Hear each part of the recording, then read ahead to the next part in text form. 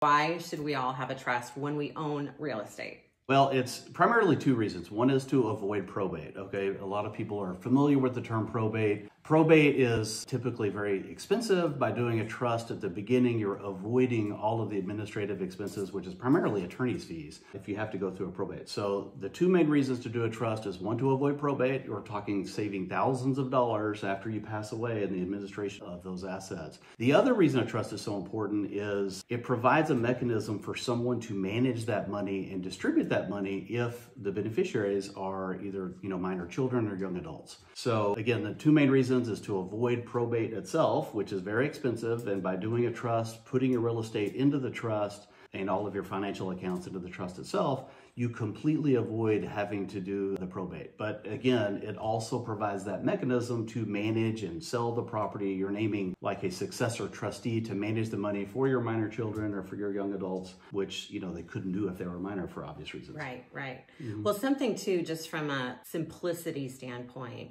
if you have a trust, I'll use myself as an example. So I have a trust with my properties in it, sure. my vehicles are in it, my bank accounts are in it. That's Everything right. I own financially is in a trust. So initially, you created the trust for me with a name, and then I go to all of my institutions of banking and so forth and tell them that now my trust is named. So, for instance, if you have a large savings account, if you have a 401k, if you have securities, whatever you may have in terms of investments, in addition to real estate, if you're naming all of them as the trust and then you put in your documents all of the financial assets you have in your trust, when something happens to you, it's much simpler for people to go and find everything. That's exactly right. And I think people forget about their bank accounts. I mean, depending on how much you have in your checking or your savings account, if that's not designated to your trust, could part of your assets end up in probate and part of them not?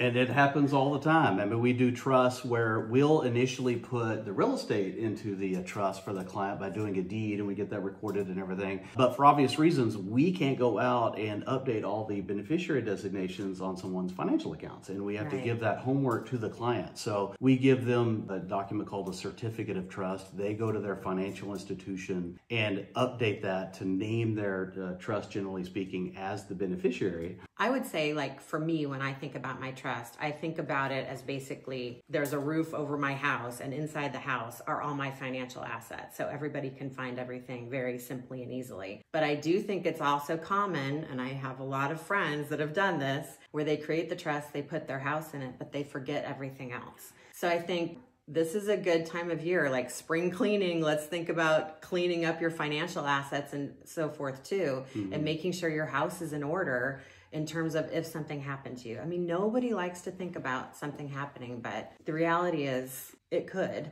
and it will someday, unfortunately. And so just be prepared. And it's like you talked about how much it can cost if you do have to go through probate. And I feel like it's a pay now or pay later. And so it's cheaper to pay now. That's right. Than the enormous expenses of paying later. That's right. It's so, typically at least half, sometimes an order of magnitude less. If you just get your uh, trust in place now, put your assets in the trust as opposed to having to go through a probate later. Right. Mm. Okay. Good information. Thank you, Kyle. You're welcome.